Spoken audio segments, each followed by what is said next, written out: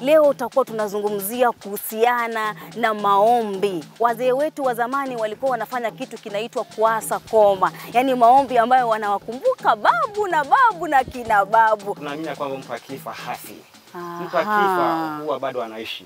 Naam. Sasa katika kule kuishi kwake Naam. bado anaweza kukutatulia matatizo. Huyu ni babu aliyemzaa baba, anaitwa ya wabaya wagungu. Mhm. Huyu ni bibi yake Juma Bale. Aha. Masihi koma kwa Yesu Masihi Yesu Masihi ahali akoma mulungu ndo maana ya koma agiria makapindi were mana hasa koma ili mavuya mazumazu